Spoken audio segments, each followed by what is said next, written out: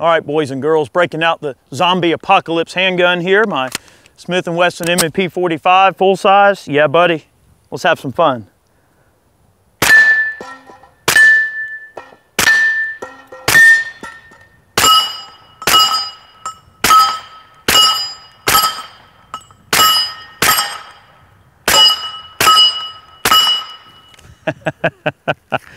All right, guys, welcome back. Eric here with Iraq Veteran 8888. You know, Chad and I were looking at some things in the uh, collection in terms of what we could do videos on, and I could not believe that I haven't made a video on my M&P 45 full size. Like, out of all the random guns that I shoot, it's like the ones that I've run into the most. I haven't even made videos on the most common ones yet. So I thought we would uh, visit this particular video. I definitely want to take a moment to thank the folks at Big Daddy Unlimited for helping keep us in ammo and accessories that we need to make these videos. Uh, I was able to get a set of high Night Fision uh, suppressor height sights, which is actually a really hard thing to find for the M&Ps uh, in stock, and they had those, which was cool. And on this particular pistol, we also installed an Apex duty kit which gets this trigger down to a nice four and a half pound trigger squeeze in that ballpark. And Apex has done some really, really great work for the M&P pistols. Dare I say, uh, the standard for M&P pistol triggers. Uh, they have a tactile reset, reset kit, uh, which is also known as a clicker kit.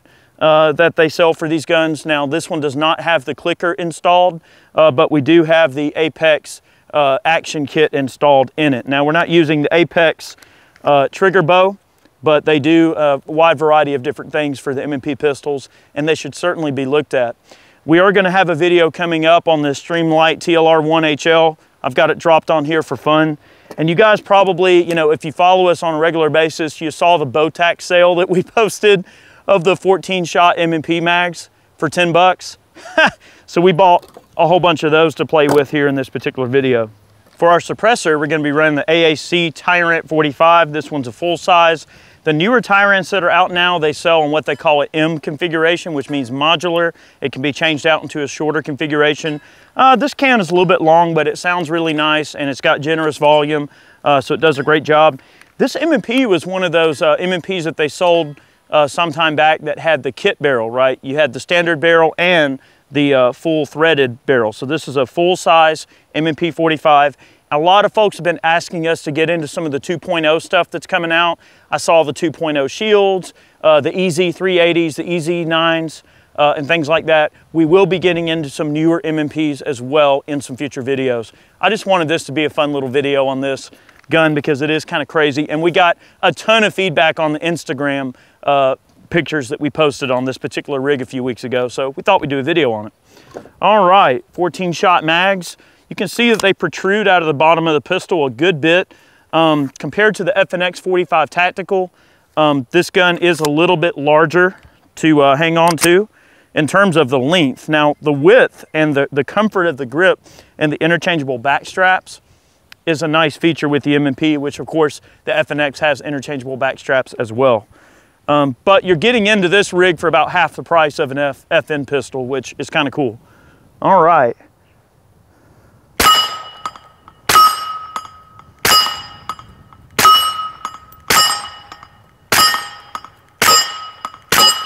I'm gonna put a couple down in the dirt over here so you can hear this gun.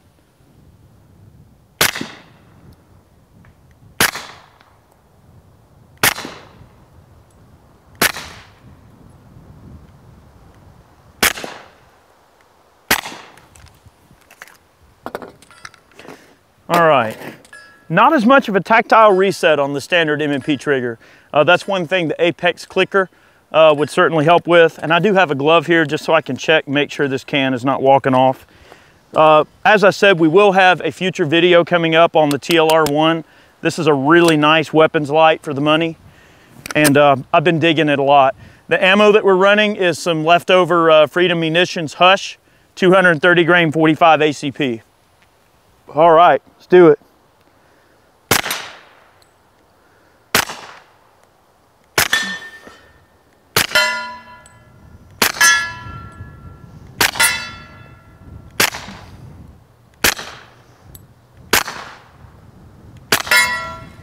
There is some considerable point of impact shift with the suppressor.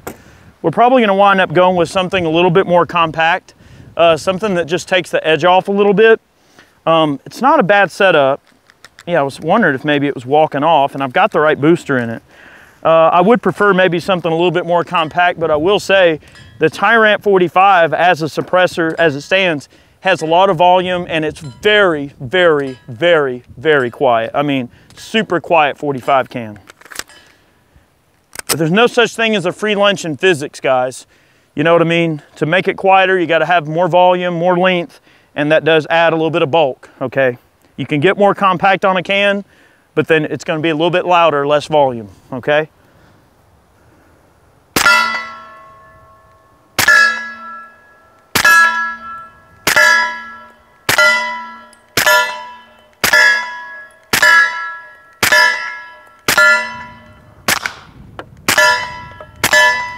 Yeah, the trigger's excellent. Uh, the gun is throwing an occasional flyer here and there. I'm, I'm seeing a high flyer. I'll show you something here in a second as we shoot a little bit more.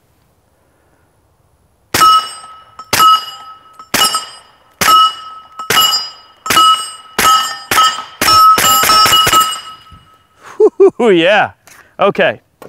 On these cans, one thing that you can do on this particular one, every suppressor is a little bit different.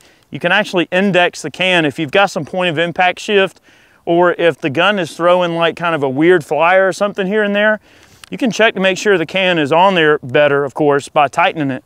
But you can also pull against the booster assembly and you can rotate the suppressor to actually help change the zero as well. Okay, so in addition to pushing the sights, you can actually rotate the suppressor to kind of fine tune that point of aim a little bit, which is handy. Um, I really love this handgun. It is by far one of my favorite pistols. And I think that the M&P kind of earns a few points over the FNX. One, because of cost.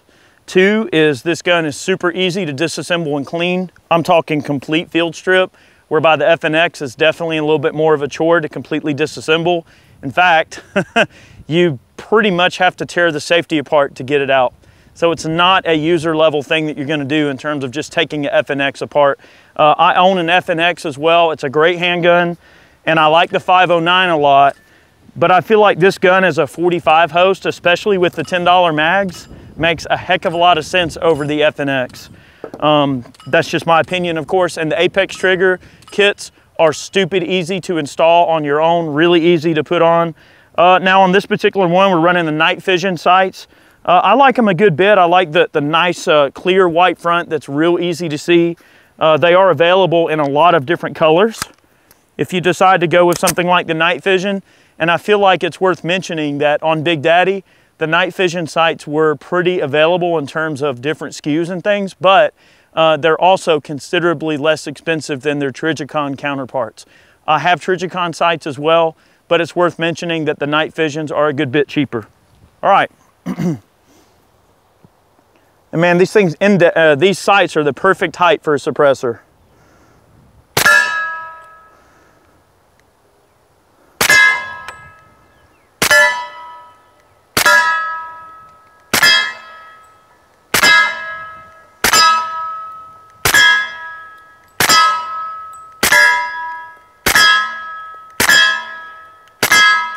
All right, you notice that I rotated that suppressor and that group walked over to the left.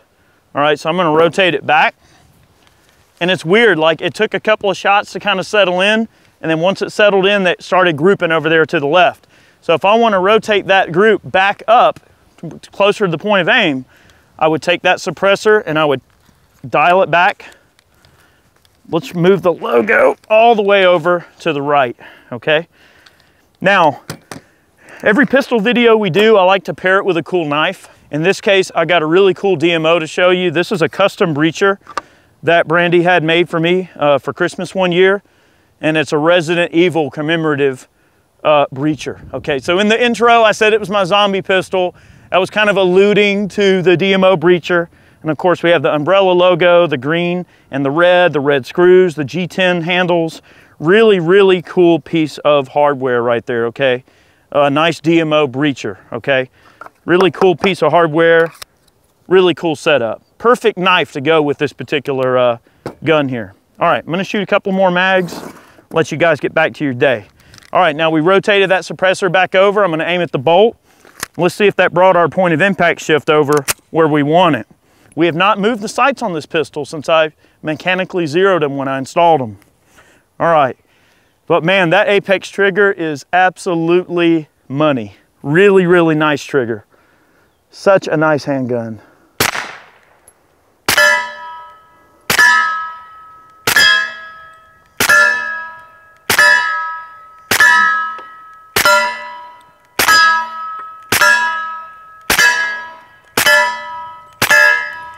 All right, see that kind of brought that up and over to the right a little bit more, okay?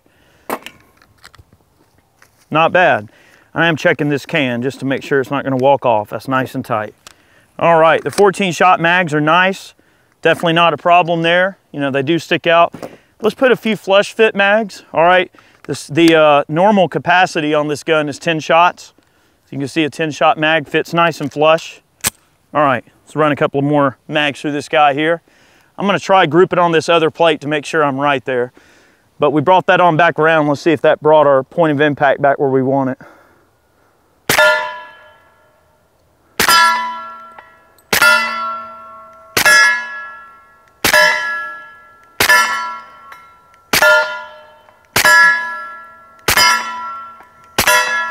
Yeah, you know, something strange. I don't know if it's the booster assembly in these AAC suppressors or what, but every now and then it'll throw an errant flyer. And I know it's not me because majority of those shots are, you know, within a couple inches of where I'm looking. So bringing that around, you could see brought our group up and to the right. Okay, when we brought that suppressor over. Not bad, okay? Really cool stuff. I like 45 ACP. I know some people kind of you know, make fun of 45 as being an old man's caliber or whatever, but as a suppressor host, 45 is very superior to a lot of things because almost all your 45, unless you get into some really fast 165s and 180s that are breaking the sound barrier, most of your 230 grain stuff is gonna be subsonic, even at full pressure, which is cool, all right? Good stuff.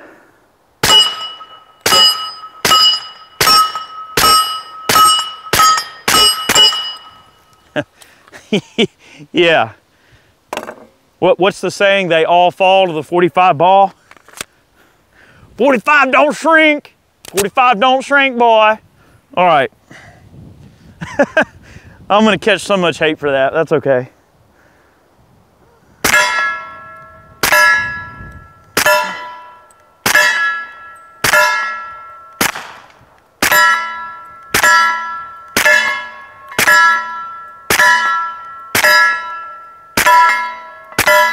Yep. Good stuff, guys. This is a Gen 1 45 ACP uh, M&P full size with the can on it. I thought it'd be cool to show off. We will be revisiting the M&P series in the 2.0 with a lot of the newer offerings that are out there. I just cannot believe that I'd not made a video on this pistol. So here you go. really cool setup. This is a nice alternative to the FNX Tactical for those of you that might be looking for one. Guys, thanks so much for watching today's video. Uh, all of our Patreon supporters, you guys are amazing. Thank you so much. All of you who purchase man cans or t-shirts over on the website, thank you so much for the support. It means a lot to all of us. Remember, you can use the code IV8888 on killcliff.com. Pick yourself up a nice can of Killcliff, okay? And all of the, a lot of the funds that they earn off of that go right to the Navy SEALs Foundation. We do not make any money off that code. That's just so our viewers can get a discount. Uh, so get 20% off with IV8888 on killcliff.com. Guys, thank you so much. We'll see you next time.